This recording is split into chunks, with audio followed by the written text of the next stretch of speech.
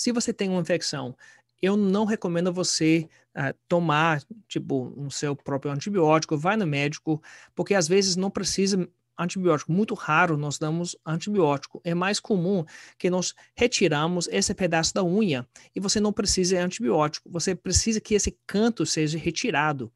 Igual se fosse você pisou sobre uma, um prego, um espinho. Você pode tomar antibiótico, mas o mais importante é você tirar aquela coisa que está causando a inflamação.